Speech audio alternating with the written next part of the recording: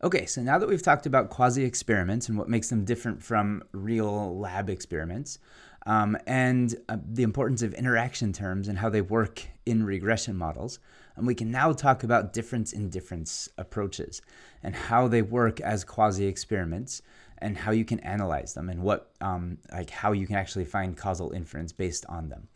Um, and so the main intuition behind difference in differences is this idea that two wrongs make a right. Um, you can't just analyze half of a difference in difference situation.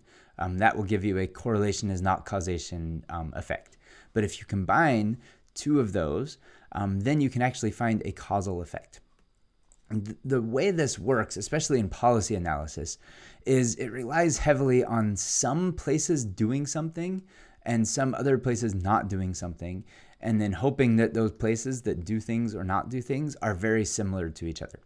Um, so, in your reading from the Causal Inference mixtape, you saw this idea here that federalism, um, especially in the United States, is actually really good for um, generating causal effects or calculating causal effects of specific policies. Because states are kind of the laboratories of democracy, they get to choose what policies they want to implement. Um, and often, if there's kind of a wave, towards eventual federalization of some sort of policy. You'll get states doing specific things at a state level, and then eventually there'll there'll be kind of a, a federal level that kind of wipes it all out.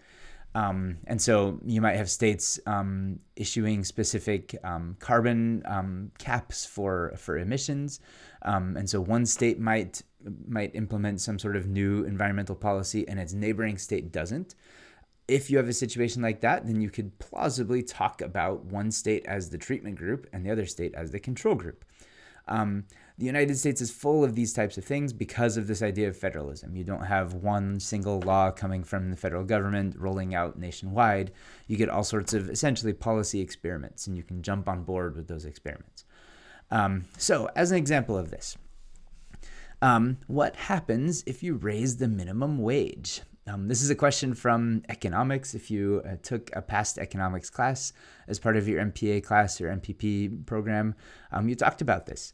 And what's interesting is it's basically a question of supply and demand at its core.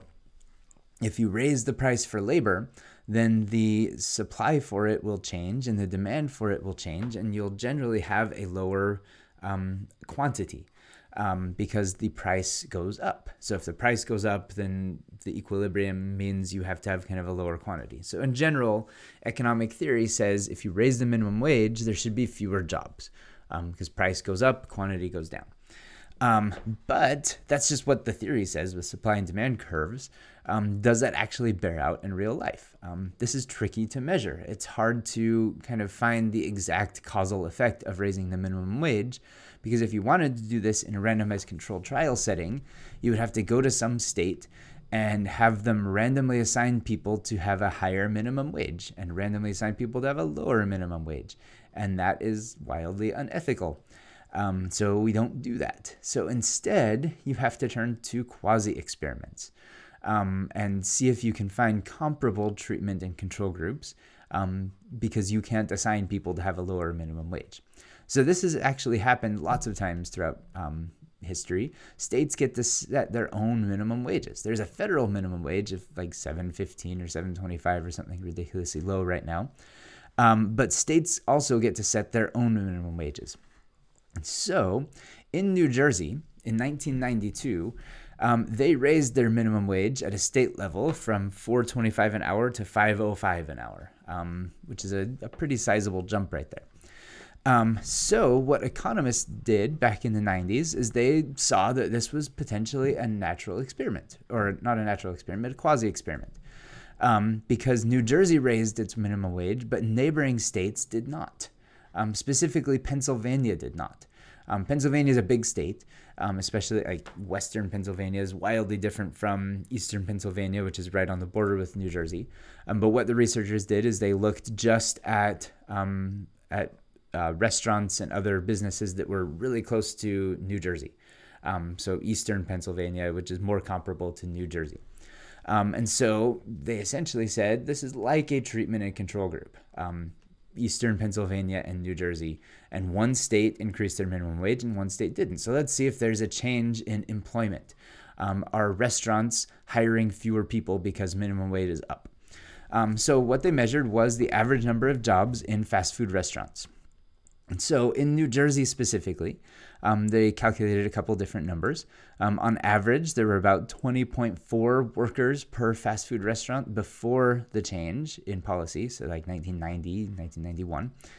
Um, after the change in policy, that increased to 21.03 workers on average. Um, so that change right there, the difference between those is 0.59. So it looks like um, raising taxes or raising the minimum wage, not taxes, raising the minimum wage in New Jersey caused restaurants to hire half a worker more on average. Um, is that the causal effect then? We're just taking before and after within New Jersey. Um, the difference went up by 0.5. Cool, there's our causal effect. Can you legally talk about that?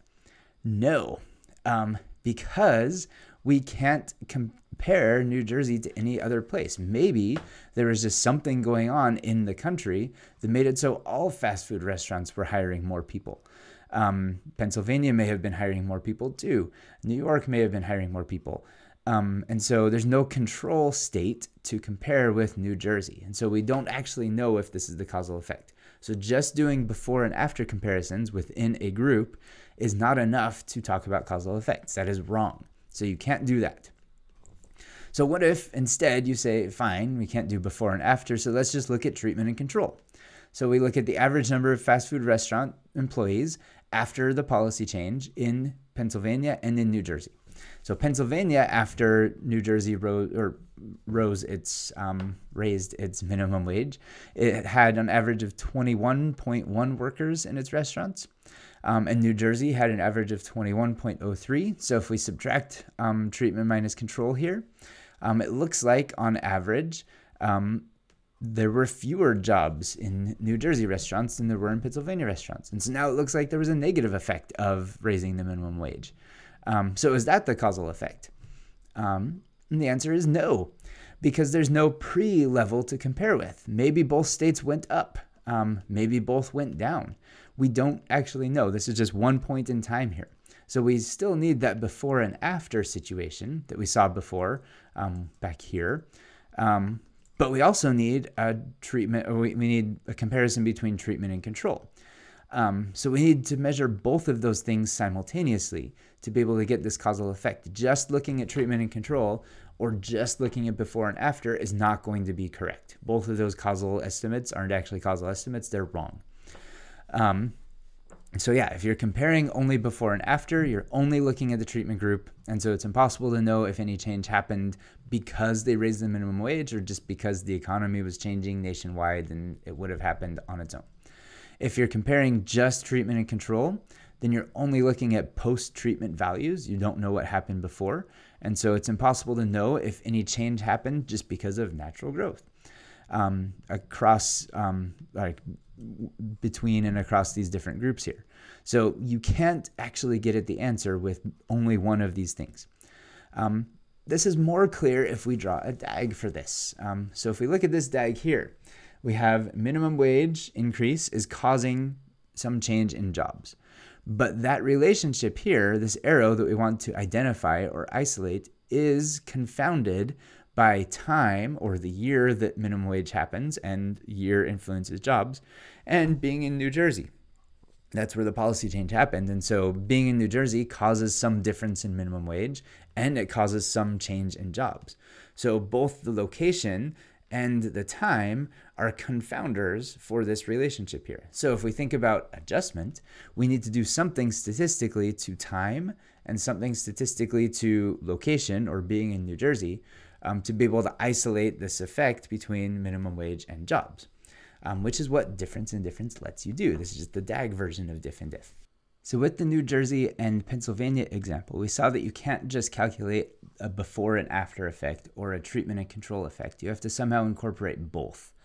And the best way to do this is to actually think of this as this two by two matrix here, where you have a column for before and after, and you have rows for treatment and control and you can plug in average values for each of these groups. So if you can figure out the average control um, the, the average value in the control group before the policy and the average value for the control group after the policy, um, and same thing for treatment, um, then you end up with these four numbers and you can start subtracting them to find effects.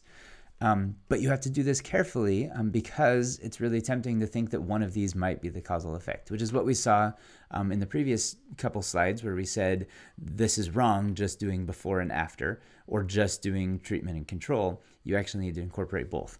So, assuming you have these four numbers here, this A, B, C, D stuff here, um, what we can do is subtract some things and find some differences in these different values. So if we go um, horizontally, what this lets us find is the pre or the post minus pre difference within each of these groups. So within the control group, if we find the post mean and subtract the pre mean, that shows us the effect of the program just in the control group or the growth that happened in the control group. So it's not a causal effect. It's just this is how much the, con- the control group changed from before and after the policy. We can do the same thing here with the treatment group. We find the post mean and subtract the pre mean. This is what we did on the very first slide when we talked about New Jersey. Um, after the policy change, they had some amount of average employees per fast food restaurant, and before they had some other level. And if you subtract that, it looks like there was some change because of the policy. But we can't isolate that because all we're really finding is this D minus C that's not incorporating any differences between treatment and control. That's just saying there was some growth within this group here um, and within New Jersey itself. So within unit growth is what we have here. Okay, so neither of those are the causal effect. We can also find differences if we go down this way. Um, so if we look at this, the C minus A is treatment, the, the average value for treatment minus the average value for control but only before the program. And so this is the difference between New Jersey and Pennsylvania, for instance, but only before the program. This is the same thing that we calculated on the second slide when we said we can't just look at New Jersey before and after. Let's look at New Jersey and Pennsylvania, compare them. By doing that comparison, this is what we did. We said um, D, which was New Jersey after the policy change, minus B, which was Pennsylvania after the policy change. So that effect that we found here was just D minus B. It's the, the growth that happens across these two groups, the control group and the treatment group. It's not the actual causal effect. If we want to find the causal effect, we have to combine these two things, combine the two differences, which is why we call this difference in differences. So what we can do is we can subtract, we can say d minus b minus c minus a, which then lets us incorporate both the pre and post values and the treatment and control values, which if you remember from the DAG, those were our two confounding factors. We had location and we had year or time that was confounding that relationship. So if we statistically deal with those somehow, in this case by, by finding differences, um, and then subtracting those differences, then we can isolate that one arrow. So that leads us to this table here. Um, and the nice thing about this is it works both ways. We could do treatment minus control um, with the differences for post and pre here. So we could do DC minus BA. That will give us the diff and diff effect. We could also do um, D minus B minus C minus A. That'll give us the same number. Doesn't matter which way we go, either one of those will work. And ultimately, this cell right here, that is the difference in difference estimator, and that is the causal effect of the program um, or of the policy. And the reason it is causal is because it's taking care of both time and location or group. Um, and so this is the, the notion of two wrongs make a right. This by itself is not a causal effect. This by itself, not a causal effect. Combine the two, this minus that, now you have a causal effect, and you can talk about it legally using the language of causation. Um, the more formal official way of writing this is with, with this math equation here. You say DD, which is the difference in difference estimator, is just the average um, of your the average value that you care about for the treatment group after the program minus average treatment pre minus average control post minus average control pre. That's the same idea as this D minus C minus B minus A thing um, just in more mathy um, terms here. So if we go back to the Pennsylvania and New Jersey example, we can use actual numbers here instead of A, B, C, and D. Um, and so what we can see, um, what we've calculated on the slides before was um, this right here. We found New Jersey before and after the program added half an employee on average. Um, but then if we looked at Pennsylvania and New Jersey just after the program and compared treatment and control, then it looked like um, the program caused a loss of jobs. And so that was kind of some conflicting findings there. But that's because neither of those are causal effects. They're just the within unit gro- growth or the across unit growth, um, which we don't really care about. We care most about the causal effect.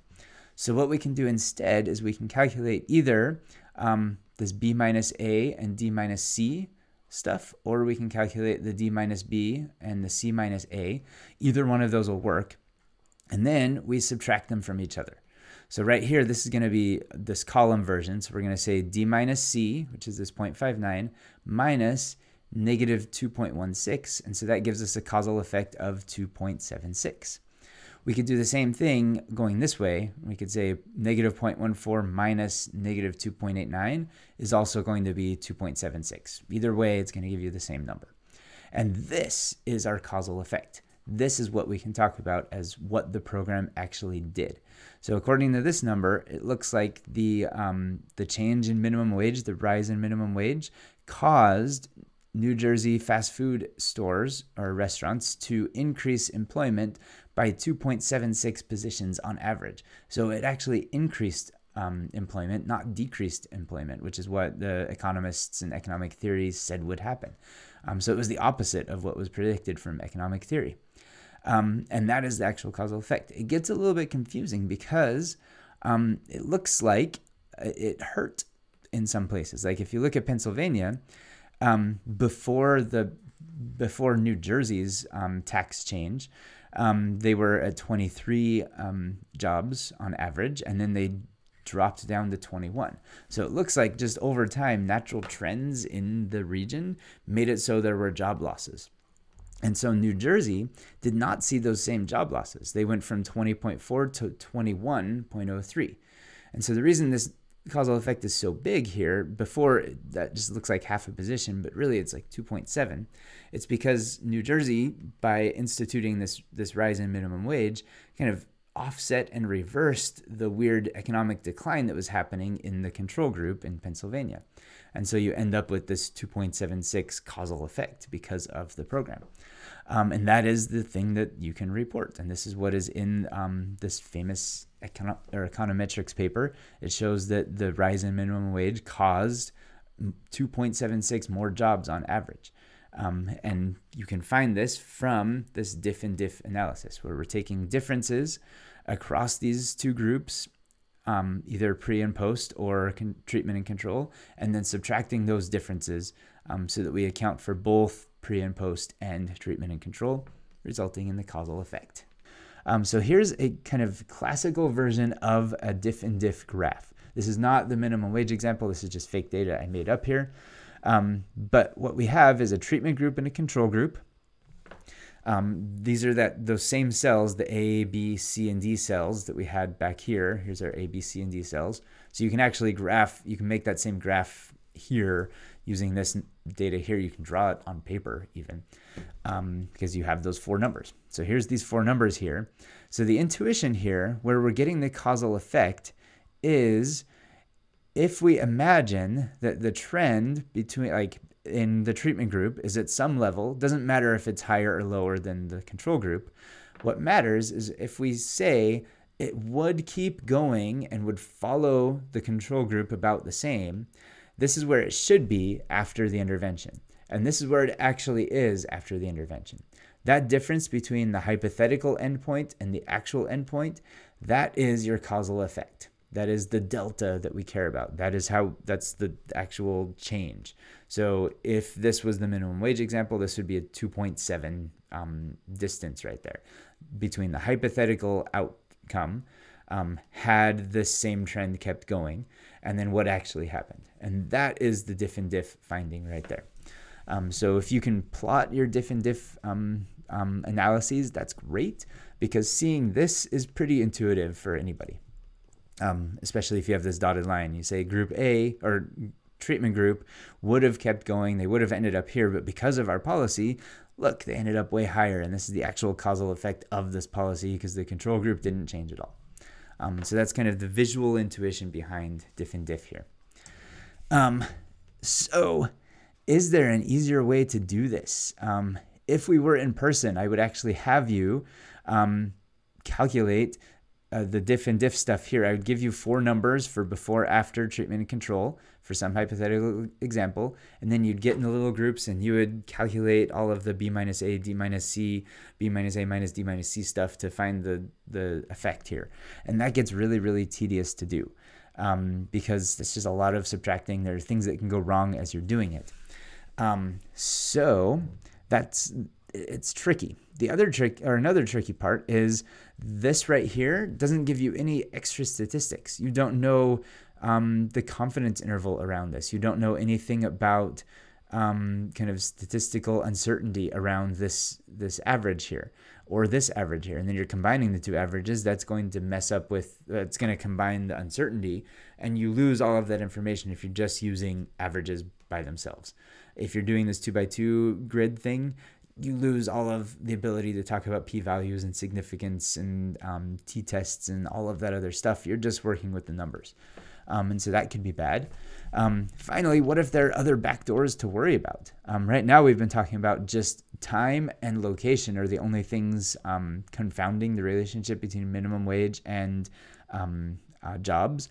But maybe there are other things that also confound, like the political party of the governors or other things that are happening that could confound that relationship. Um, if we want to statistically deal with those confounders, maybe we want to stick them in as control variables or do some sort of matching or inverse probability weighting, um, then that's going to get even trickier to figure out those four numbers, your A, B, C, and D cells. So that's hard to do. So what can we do instead of calculating the A, B, C, D cells by hand? We can use regression.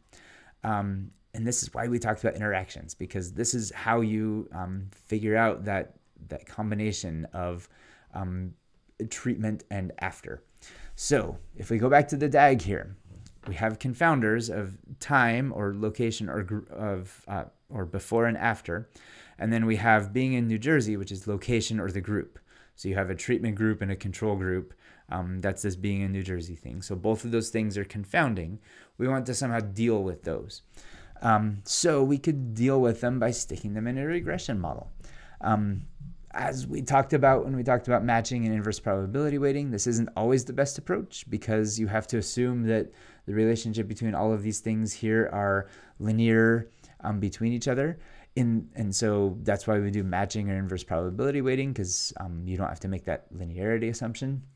In this case, though, it's okay um, because these are all indicator variables. They're all binary. So the group is just going to be New Jersey or Pennsylvania.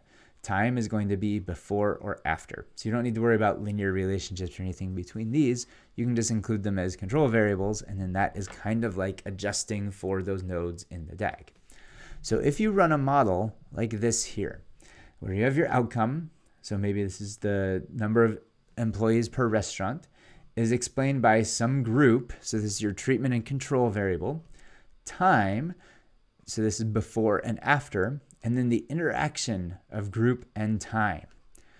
What this does is this will give you the difference in difference estimate because what we're trying to find, if we go back to the cells here, to our A, B, C, and D here, um, the thing we care about right here is this number, which is what happens. It's the effect of combining the the pre minus or the post minus pre and the treatment minus control. So we want what happens when both of those things are turned on. So that's our ultimate goal is to find that combination of those two things.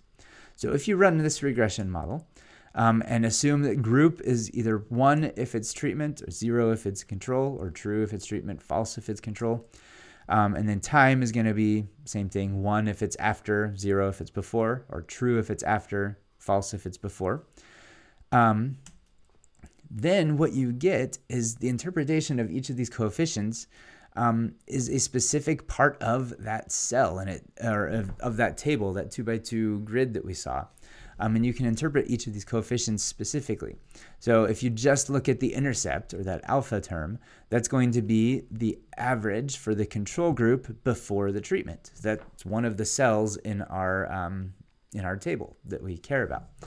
Um, the coefficient for group is going to be the increase in the outcome across the groups. So it's going to be the between group differences. The time coefficient, this gamma here, is going to be the increase in outcome over time without within the units. And so that's going to be the difference within treatment and the difference within um, control. So just the time-based differences, which are wrong. So if we go back to the the example we talked about, the two wrongs make a two wrongs make a right. This is one of the wrongs. It's just saying this is treatment minus control. This is one of the wrongs. This is before minus after, but only those two. But because we're interacting these two, what we get is treatment minus control and before or after minus before. If we combine those two, this right here is our difference in differences um, estimate that we can get directly from a, from a regression table. So one really cool thing about using regression for difference in differences instead of a manual 2 by 2 table is that you can actually build the manual 2 by 2 table um, using the regression coefficients. So if you notice here, if you're interpreting this regression model, your alpha is the intercept. And so um, when you're interpreting the intercept, that's the, the predicted outcome or the average outcome when all of the other variables are turned off. So when group is set to zero and when time is set to zero. When group is set to zero, that means the control group. When time is set to zero, that means before. And so the control before value is just going to be that intercept value. So if you have a, a regression table, um, whatever that intercept is going to be is going to be that corner of that of this table. Um, if you want to figure out the the value for the after average for the control group, that's just a matter of taking the existing average for the intercept and adding the time coefficient because remember this is a switch so we're switching time on and that makes some additional change in the outcome because time is turned on there. And so because that's the switch we're talking about. So you can piece these things together. Um, so that the post mean for the control group is going to be whatever the coefficient for alpha is plus whatever the coefficient for gamma is. If you just want to know the differences um, a, with or across pre and post just for the control group, that's the same as keeping the the the beta for group to zero, keeping that switch off, and then you're just switching the time coefficient on and off. And that's the gamma. That's how much change there is in the outcome because time is one or time is zero, which is the same thing as this um, gamma coefficient right here. So you can piece all of these other cells together if you really, really wanted to, um, to build the, the same two by two table or three by three table in this case, because we have these margins here, um, using regression coefficients. But what really matters ultimately, you don't really need to do that because that is tedious and you don't need to show every one of these cells here. The most important cell in all of this is this delta because that is this corner here. That's our magic causal inference corner. That's the difference in difference column. Um, that's this treatment minus control. Notice how even the coefficients disappear and you're left like gamma minus gamma disappears. You're left with this delta. Same thing here. You have beta plus delta minus beta. Betas go away. You're left with delta. And delta is the thing you care about the most. That's the causal effect. So rather than doing the whole table thing, you can just look at the coefficient in your regression results, and whatever delta is, is that corner, and that's your causal effect. And so when we get to the R examples um, later, if you go to the examples page, we'll walk through an example of doing this with regression and with a two by two table, and you'll be able to see that the causal effect just shows up right in the regression um, table. You just have to know what row to look at to find the delta, um, and the row you're looking at is the interaction term row. And once you um, identify that, you have found the causal effect. Um, so this works either way with the table or with regression. It's way easier with regression because you're just looking for one value instead of calculating a bunch of stuff and subtracting it and subtracting it again. Um, that gets really tedious. The regression way is far easier and um, easier to interpret. So let me show you an example of um, regression output for a more basic example here. If we go back to the hot dogs, um, example here. So let's say we have a data set here of four different hot dogs. Um, we have the price column, so 2, 235, 235, and 270. We have a column for cheese and a column for chili. So some of them, um, this one has cheese, this one also has cheese. These last two have chili, so this very last one has chili and cheese. Okay, so if we think about this in diff and diff language, um, this might be a treatment group, and this might be a before and after, or treatment and control before and after. Um, they're just both binary variables here. So if we run a regression using this tiny data set here, um, you can actually see the different coefficients emerge here. So here's our regression. We're going to say price is explained by cheese plus chili plus cheese times chili. So that way we get the cheese effect, we get the chili effect, and we get the cheese times chili effect. And here is our regression output. And so this is our alpha right here, our intercept. So this is the average price when everything is turned off. So cheese is off, chili is off. So it's going to be $2. Um, this coefficient is our beta. Um, and so that means cheese, if that is on, um, the price is going to be 0.35, 35 cents higher on average. Um, if this was a before and after variable, um, or what were we, we weren't talking about before, this is our group if we're talking about diff and diff. So this would be like treatment and control. Um, the treatment group would be some amount higher or some amount lower. Um, our chili estimate here would be similar to the time. So that would be like before and after. Um, and so if the chili is after, um, then it's going to be 0.35 higher. Finally, we have this right here. Our estimate for the chili times cheese effect is actually zero because there's no causal effect or extra effect that comes from combining cheese and chili um, on price. Um, you don't get any bonus, um, or it's not even more expensive because you combined them. Again, if this was 250 for chili and cheese at the same time, um, this coefficient here would be um, 0.5, um, or it would be negative 0.2 because it'd be yeah negative 0.2 because it'd be cheaper by 20 cents um, because you're after combining them because it should be 270 but it's down to 250 and so that difference is going to be 20 cents. And so that would be the causal effect of getting both chili and cheese at the same time. Um, and so again like each of these coefficients here fits into that regression model um, and they fit into specific aspects of um, your before and after and treatment and control idea um, and then this is the magical causal effect number that you care about when you're interpreting regressions. So here in this diff and diff example, we'd say there's no effect, there's no causal effect on price of combining chili and cheese.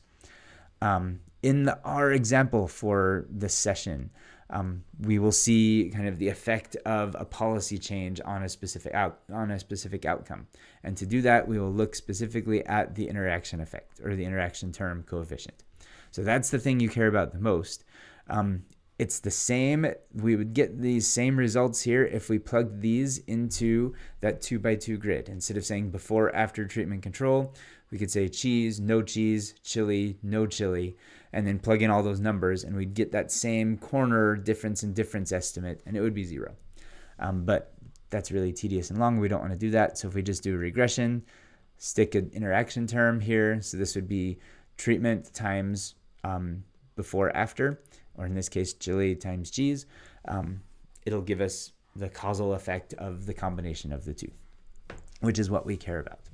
Um, so one brief example of this in real life here, um, using observational data. Um, so some researchers back in 2016, um, when Pokemon Go was a big thing, um, they wanted to see if there was a causal effect of using Pokemon Go on activity um, physical activity or people walking more because they're using Pokemon Go. Um, the tricky part about this is you can't really randomize people into this. You can't um, have a randomized control trial where you tell some people to do Pokemon Go and some people to not touch it um, because you, you can't do that. Um, that's really hard to do because anybody can just self select into things. And so, what they did instead is they used a kind of quasi experiment where they just did a survey on um, Amazon Mechanical Turk, which is a place where you can just um, post Qualtrics links and people can take surveys um, and you pay them some amount of money for taking your survey. Um, they did um, a cohort study where they actually found a bunch of people and checked in with them every week um, so they could track the same person over time. And so what they did is they wanted to see if people who used Pokemon Go had more steps on average than people who didn't. Um, and it worked because iPhones um, track your steps. So they didn't have to find people with Fitbits or anything. They just found people with iPhone 6s um, that either used Pokemon Go or didn't use Pokemon Go. Um, and they tracked these people for weeks before and weeks after they installed Pokemon Go. And so what they ended up with was a chart that looks like this. Um, so they tracked people for weeks, like a month before Pokemon Go was released. Um, they were checking in with people to see how many steps per day they were taking. So on average, it was like 4,000, maybe 4,500 ish steps. Everybody's kind of very, very similar here.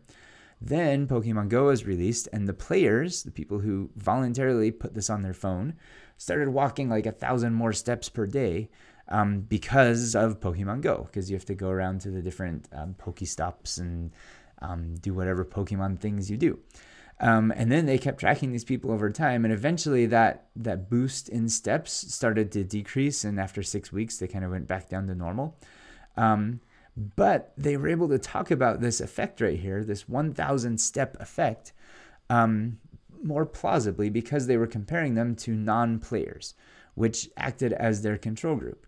So, admittedly, these Pokemon Go players were self selected into this, but the researchers tried to find a comparable control group, and you can see before they were pretty comparable. It's not like the Pokemon Go players were less healthy or less active than the non players, they were basically the same. And then these guys went up and were higher, and then it came back down. So, this right here is a difference in difference situation.